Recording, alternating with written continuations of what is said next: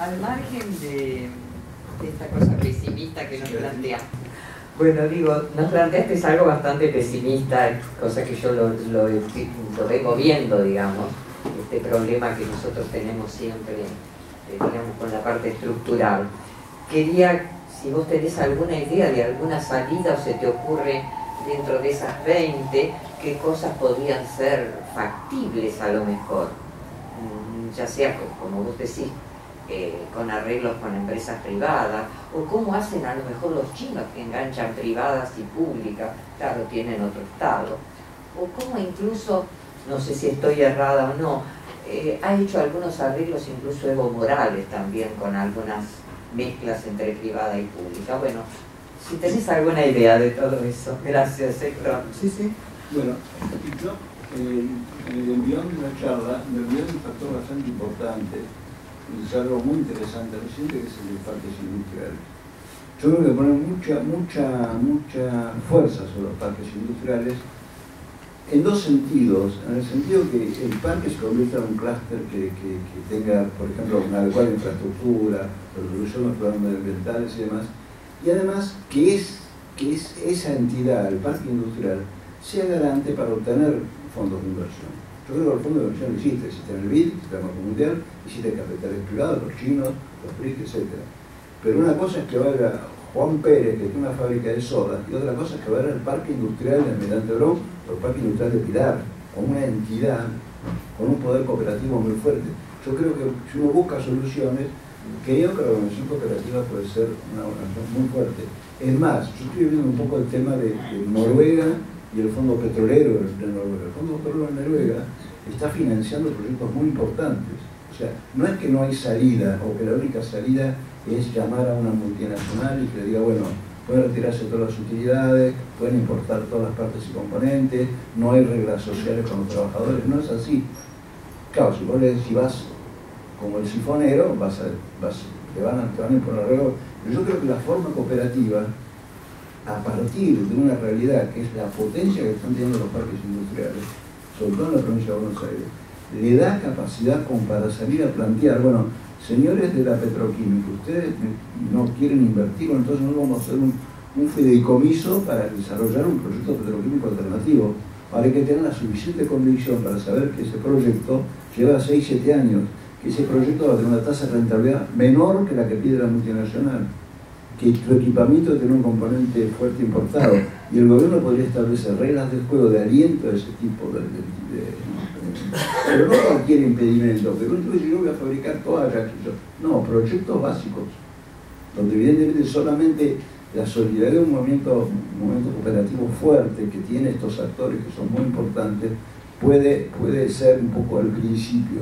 Y la formación de fideicomisos que no están siendo aprovechados cuando IPF salió a colocar esos bonos en pesos, ya no puede colocar más porque ya tiene su margen de endeudamiento en pesos cubierto, la respuesta de la población fue espectacular. ¿Por qué no puede haber un fondo, un fideicomiso para sustituir la importación de partes de la automotriz? ¿Por qué no podemos salvar joint venture con empresas automotrices de otro origen que no sea el, americano o el europeo? De hecho, de hecho, la General Motors hace unos 15 años estableció un convenio con un proveedor eh, de Hong Kong para producir las baterías.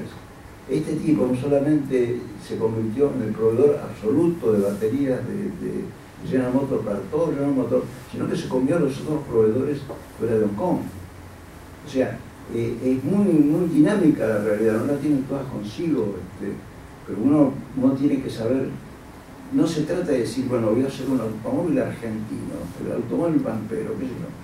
Eso no, se trata de decir, bueno, acá tengo bolsones de renta muy importantes en el sector agropecuario, en Puerto Madero, en todos esos lados, que tienen que, este, que, pueden servir de base para proyectos productivos. Ahora, si uno tiene cosas como este, el acceso cómodo al dólar y tiene, no tiene controles muy fuertes sobre la actividad especulativa, bueno, nunca vas a tener la rentabilidad que te da una operación especulativa en un mercado marginal respecto a correr el riesgo de un producto industrial.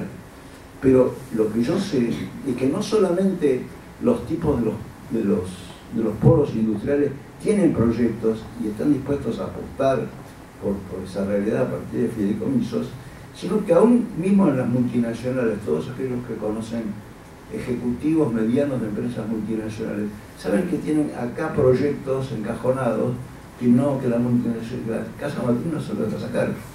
¿Por qué, por ejemplo, este, ciertas casas matriz este, no permiten vender productos de origen argentino porque ellos decidieron que ahí el que vende es el mexicano? Toyota, por ejemplo. Toyota, Toyota es un caso testigo importante, porque vinieron acá por una planta para servir vehículos, creo que es en Santa Fe, en Bordo. Este, y hay, Toyota compite con la Toyota de, este, de Corea, creo que es, para todo el mercado del sur del mundo. Y le está ganando espacio. Y está planteando, bueno, la tapicería la vamos a hacer acá, la transmisión la vamos a hacer acá, las baterías las vamos a hacer acá, cosa que hasta hace 10 años era impensable que ocurriera. Digamos, son pequeños ensayos que muestran que este, todas las empresas tienen proyectos para la Argentina. Pero la casa matriz no, la Argentina no, porque son como Chávez, entonces mejor no, como en la nación, entonces como Chávez mejor no. Pasa eso, pasa efectivamente, yo lo he experimentado personalmente te pueden dar un montón de productos que la casa matriz decide no producir en Argentina por razones más políticas que otra cosa. No, quiero dar nombres, pero te, te, te, el cuento, pero, es así. Ahora, me parece que por ese lado, por el lado de que el, Estado intervenga, pero no se convierta en fabricante de broches. No puede ser el Estado fabricante de las cosas, pero creo que los polos industriales se ha desarrollado por eso yo protesto contra el tema que el INDEC no te dé los datos del 2014. En 2014 ya hay un montón de pueblos industriales que no existían en 2004. Es que hay una potencialidad para que pongas a buscar ahí proyectos. A ver, eh, por favor, aquí.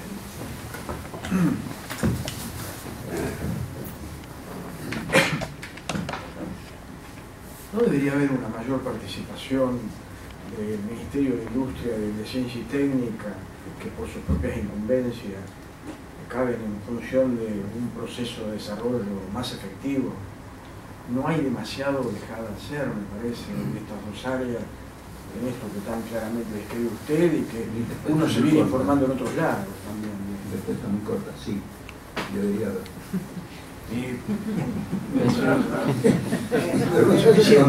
Eduardo. Gracias.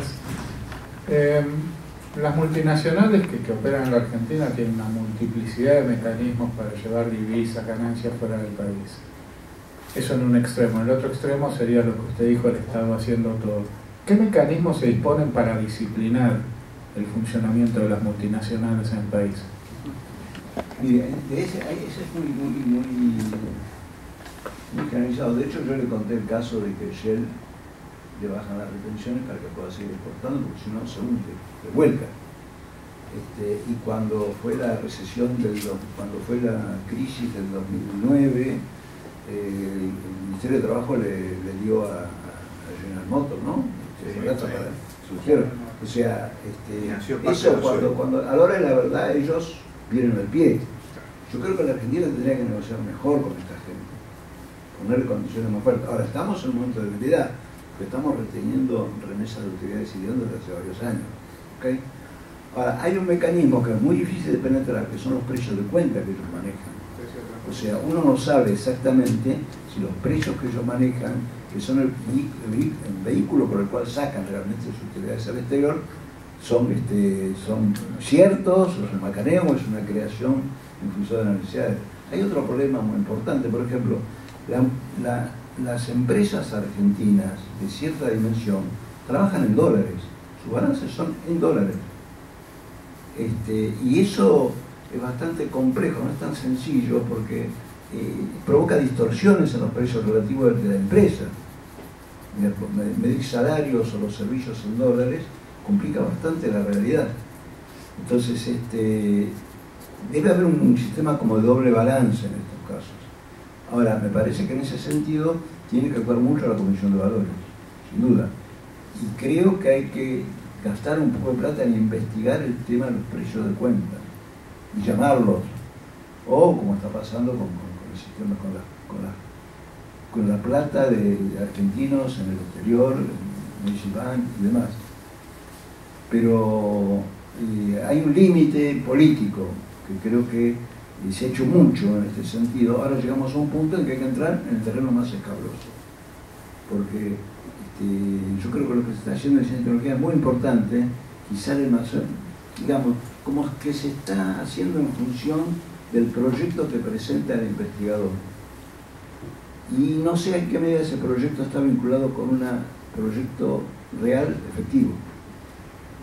¿En qué grado la universidad, en general las nuevas universidades están más vinculadas con los parques y con las necesidades fabriles de la zona que la universidad liberal tradicional de Buenos Aires.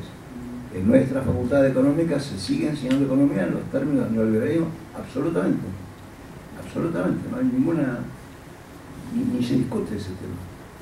Entonces, este tema de las nuevas universidades también es muy interesante, porque supone un compromiso mucho más fuerte con la región.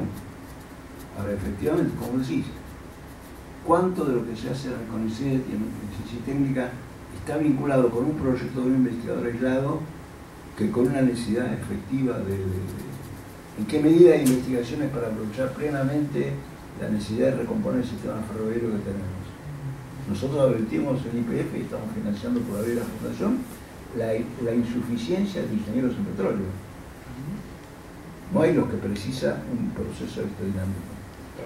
Y tampoco hay suficientes contratistas tampoco, porque la, la patria contratista no solamente son los que hacen obras públicas, la patria contratista son los que se quedaron con las partes de la vieja IPF cuando fue despedazada por, por, Caballo, y bueno, tienen ahí un, pequeño business que su renta se traduce en, vivienda de lujo en Rodatini, por ejemplo. se los ve poco entusiasmados a mejorar su oferta en términos de calidad. Y cuando pasa eso, inevitablemente te demuestran que mejor comprar lo importado. Porque yo tengo que desarrollar proveedores. Los proveedores vienen con un precio que es 70% más caro que el chino y tarda mucho más en responder. ¿Y qué le voy a hacer? Yo tengo que sacar petróleo. Entonces es muy complejo empezar a caminar la realidad porque todos los problemas medioambientales también son importantes hay un negocio espectacular que es la remediación de, los daños medioambientales. Hay tipos que están enriqueciendo haciendo proyectos, ejecutando proyectos de remediación medioambiental, porque no fue un tema que le preocupó solo el medio ambiente. Entonces la empresa se tiene que poner al hombro todas esas cosas. Por favor, Y otros temas, digamos, el tema de la construcción. un problema que encuentran los proyectos generalmente que yo, que yo sepa, pasó con la Ciletá, pasó con la terminación de Atucha, nos va a pasar a nosotros con la terminación de la, de la refinería de La Plata, es que la boca no se va. La boca no se va, la boca no se va. ¿Y cómo arreglas? En Atucha tuvieron que dar un acuerdo con el municipio para que empleara los 1.500 tipos que habían ocupados. Y cuando vos contratás con, con, Yo no tengo una cuestión contra los sindicatos, para nada cuando vos contratás una obra de estas grandes, con este, una obra de estas grandes con, Ocra, el 70% del personal lo pone Ocra. Sindicato extremadamente afín al gobierno. Pero es así. Tú tienes que manejarte con esa realidad, no hay otra cosa.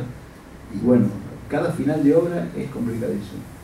En este, en este discurrir del proyecto que les contaba, para bajar el telón hay que ver. Bueno. Súper corto, doctor. De los proyectos básicos que usted menciona, uno tiene que entender que son proyectos en el sector de insumos básicos. Mire, yo creo que estimular los insumos básicos hay que investigar, hay que tratar de poner la mayoría de las ramas lo más cerca posible de la frontera tecnológica. Pero estamos en un punto muy bajo de productividad. Entonces, me parece que este, los proyectos que estoy planteando son desde una central hidroeléctrica hasta repensar el tema de la oferta siderúrgica y eh, romper el, monopolio en los plásticos y demás. Porque no solamente estos proyectos son vitales, vital cómo se los construya, ¿no? Porque, porque hay un problema de balance de pagos, sino por cómo impactan sobre los precios internos. digamos, el tema de los lácteos es el más característico.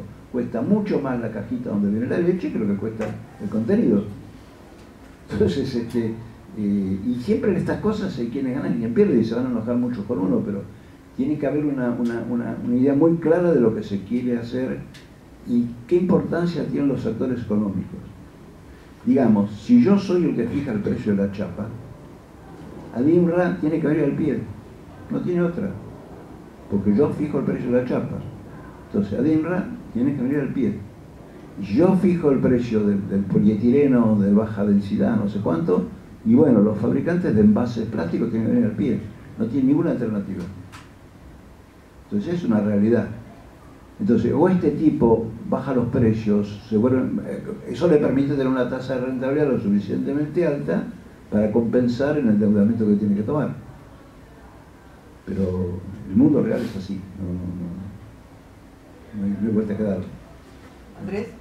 Sí, eh, ¿no será el momento de, de, pensar en una nueva ley de compre este, vinculada al incentivo de la producción? Sin duda, sin duda. La producción integral, digamos, Sin igual duda.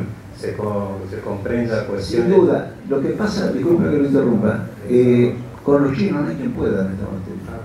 Fíjese el caso de tantos casos que hubo que se probó y para mismo para el empresario del Estado, el tipo del Estado, ante, ante la agresividad que tienen estos tipos, y terminan cediendo.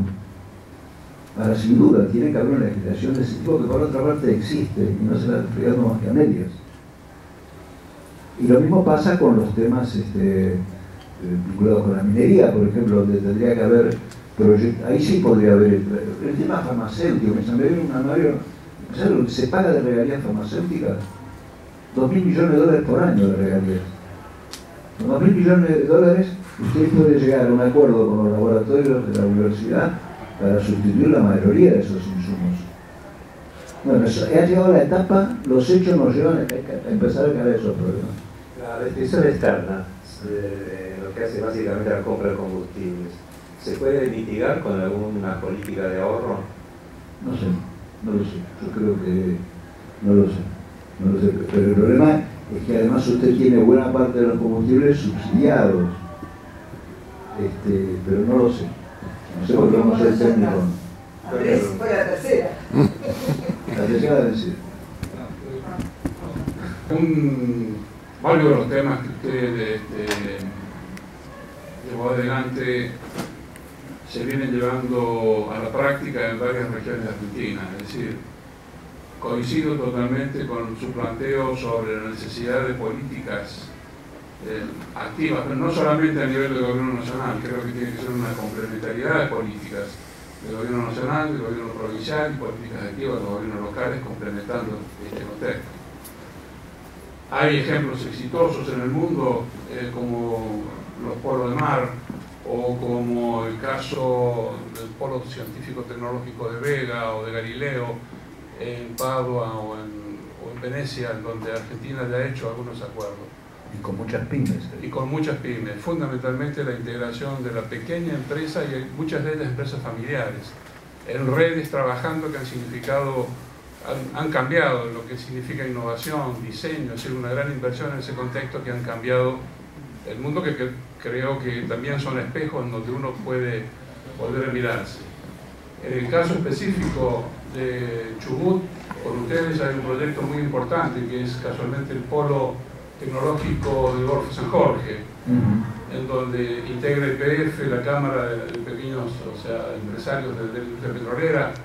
Eh, el, el elemento fundamental aquí, que usted lo expresó con toda claridad y me parece importantísimo, es la necesidad, primero, de la complementariedad público-privada social, para realmente llevar adelante un proceso de transformación equilibrado, y luego este marco de relaciones internacionales en donde ya se vienen llevando adelante acuerdos de cooperación horizontal, que son los que hoy están dando, o sea, la descentralizada, no los contactos más, complejos, la descentralizada es más directa porque o el municipio o la provincia o directamente los actores interesados a través de un contexto global del país, por supuesto, eh, pueden llevar adelante este, este tipo de cooperación.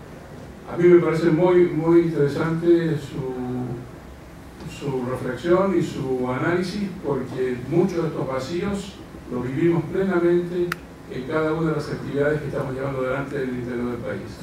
Yo quería decir dos cosas. Primero, No, sí, simplemente quería expresar esto, un profundo agradecimiento, porque esto también nos permite tener una clara visión de cómo, cómo se puede llegar a comportar hacia el futuro, cómo se ha comportado hasta este momento, y, no caer en errores eh, sin, tener esta visión que usted nos está dando. Desde ya, No, sí, pero una cosa. Por ejemplo, hablando de la Patagonia, el tema que tenemos con las producciones regionales es que evidentemente con este tipo de cambio no pueden exportar. Ahora, si yo toco el tipo de cambio, ya sabemos las consecuencias que tenemos. Uno no, tenía más remedio que devaluar cuando cayó de la rubia. Nosotros tenemos un plan para devaluar compensado que permitía atenuar. Se lo llevaron por delante. Los mismos que ahora este, dicen que hay que devaluar, quieren otra vez. Ahora, en el caso de la fruta del Río Negro, ustedes probablemente lo saben mejor que no pueden con estos precios. O algunos, otra vez el mismo problema, que acaparan, porque tienen cámaras de frío y demás, pero ese no es el proyecto que queremos nosotros. Y eso suma a eso que Brasil decidió no importar manzanas y peras. Entonces ahí otra vez hay que estimular la producción este, asociada. Uno puede decir, bueno, yo le quito las retenciones a las peras y manzanas, o todos los, yo le quito las retenciones a todos los productos regionales, pierdo un punto de recaudación. No es problema, se puede hacer y sería razonable que se hiciera, pero no es la única solución, porque al, a los seis meses la inflación ya le comió ese punto de recorte. Entonces tiene que facilitar la comercialización, la desaparición del ferrocarril ha jorobado muchísimo esas producciones. Este, por ejemplo, mismo en el caso de Vaca Muerta, se plantearon mencionar un ferrocarril porque están destrozando los caminos para equipar a Vaca Muerta. Entonces, es todo, un- tema de macroeconomía, de provisión de energía, de, de- de- de temas medioambientales, la cuestión del precio que el tipo recibe, porque si nosotros no le resolvemos el problema a los productores del Alto Valle, ellos lo resuelven este, vía informalidad. No van a faltar centenares de, compatriotas de la patria grande que van a venir por un, por un sueldo misérrimo a trabajar en la, cosecha. O sea, es como un globo, ustedes apretan por un lado y sale por el otro. este. Entonces, eh, el tema es muy complejo cuando la Argentina tiene un mercado interno suficiente como para poder ser un consumidor de esos productos, y creo que si no se fortalecen las formas asociativas, que en realidad el modelo del Alto Valle es un modelo pionero en el mundo, digamos antes que Israel, se desarrolló la obligación del Alto Valle, la asociación, igual que Mendoza, de todos los productores en el aprovechamiento del agua, y vamos a poner en ese modelo por un tema de que no estamos ocupándonos de, lo- de los problemas que tiene ese sector. Hay que revisar la, carga impositiva, hay que, hay que financiarles el capital de trabajo, hay un montón de cosas que se pueden hacer y seguramente no se revisa tanta plata como para hacer una CEDU, ni para hacer una para todo el mundo. Digamos, financiar el capital de trabajo del de la cosecha de un productor de Río Negro, yo no tengo cifras, pero no debe ser una magnitud que complica la vida del banco. Bueno, en eso como que le falta elasticidad al Comité Económico, le falta plasticidad. Evidente, en casos de esos hay un montón. Hay una pregunta. Eh, La última, la última. Oh. Eh, ¿En qué rango está el costo de producción del barril de petróleo en la industria petrolera hoy en Argentina y cuál es el DPF? Entonces el IPF está en torno a los 12 dólares por cada cosa, ¿Y cuál es el precio que garantiza el Estado para vender a las refinerías? 72 dólares. ¿Cuánto? 72 dólares. Bueno, pero desde, la boca de pozo hasta, hasta el punto final, porque todo se mide en términos de barril de petróleo, tanto la producción final como la, como la de las tres. La industria tiene una enorme cantidad de riesgos, digamos, este, vos perforás, calculan una inversión con suerte de 10, 11 millones de dólares por torre, y por ahí sale, por ahí no sale, por ahí el pozo da petróleo durante 15 días a todo trapo y un día se cae y se acabó. Por ejemplo, una de las cosas que ahora se está pensando, muy interesante, es que en las zonas de, Comodoro, hasta con población encima, donde acá estaban los viejos pozos este, que ya no dan más, parece que abajo hay mucho más petróleo que se puede sacar por la técnica de shale. Ahora, una cosa es que exista el recurso y otra cosa es que tenga reservas. Y eso es bueno saberlo. Vos no tenés reservas si no tenés un proyecto para explotarlo. Si no, es un recurso que está ahí. Y son muy caros estos emprendimientos. Muy difícil pensarlo que con el ahorro nacional interno, a no ser que decía, bueno, voy a invertir todo exclusivamente en el petrolero, bueno, no tiene sentido. Y el otro tema es la tentación que despierta esta caída del precio internacional, porque decimos, bueno, estamos invirtiendo con estos tipos, estamos bajando el petróleo y fueron petróleo compramos. Entonces tenés que tener estratégicamente muy claro, que era el tema de la, de cuál es el papel que tiene la energía en tu proyecto. Porque tener energía barata y accesible tiene una ventaja competitiva en la región tremenda. Por eso creo que temas con proyecto de corpus hay que revisarlo porque hay una oposición medioambientalista que no se justifica, porque la Argentina con hidroeléctrica, la Argentina tenía históricamente una matriz energética bastante equilibrada. Por cierto, lo más importante era el petróleo y el gas, pero tenías producción hidroeléctrica, producción atómica en expansión y se empezaba con las cosas del uso del aire y demás. Hasta que cayó esta cuestión del neoliberalismo, que ya vino de la época de Martínez Dios, y que justo coincide con la aparición del gas en Loma de la Lata. En consecuencia, iba a haber gas de sobra. No solamente iba a haber gas de sobra, sino como que el mercado interno estaba aplastado, había que exportarlo el gas. Y establecimos contratos de exportación de gas con Chile, que ahora no podemos cumplir, estamos pagando una poderosa indemnización por eso. La patria grande tiene esas cosas. Pero es así, este, el criterio mercado no te da la solución correcta. Se abandonó, por ejemplo, se abandonó durante 10 años Atucha 2, porque con el gas que había, para que gas a 2 dólares el millón de BTU es una pichincha. Entonces, ¿para qué nos vamos a meter en un proyecto atómico que además con las experiencias que hay, que se postergó, tuvo una decisión política de hacer No sé, pensó en otra cosa que en la decisión política y se hizo en una hora. O sea, la matriz energética se distorsionó a favor del gas. Entonces llegó un momento que bueno, no hay más gas, entonces empezamos a buscar el shale. Ahora parece que hay gas. por ejemplo, cuando IPF compra este, Apache, descubre que Apache tiene reservas de gas muy importantes. Como no había proyectos para explotarlas, no figuraban como reservas, eran recursos. Eso responde al interés americano, no responde al interés argentino también. Está clarísimo el asunto. O sea, cuando uno dice, hay un yacimiento, sí, bueno, pero hay un proyecto que lo explote, no. Porque la casa matriz no dice que no, que no voy a explotar acá, sino en Libia. Pero el problema del gas lo tienen los argentinos, que parecen el gas de, Tierra del Fuego. Ese es un ejemplo característico de las decisiones con el criterio de mercado de la empresa multinacional, como bien dijiste, con un costo de producción del petróleo convencional de 12 dólares el, el barril, vos tenés margen todavía, con 45 o 50 dólares todavía hay proyectos rentables. Claro, la tasa de rentabilidad es más baja. Pero si vos tenés un proceso integrado, la baja tasa de rentabilidad del petróleo te la compensa que el precio del gas no bajó, sino que sigue alto, y que el precio de los combustibles está alto, o sea que la tasa de rentabilidad, que es del 9-10% en el pozo, para el conjunto de la empresa se convierte en 16, 17, 18, que no lo tienen los otros. En, petróleo, si vos tenés una empresa integrada, muchas ventajas. Pero son esas sutilezas que no salen a los diarios. Muy bien. Bueno, muchas gracias. Agradecemos.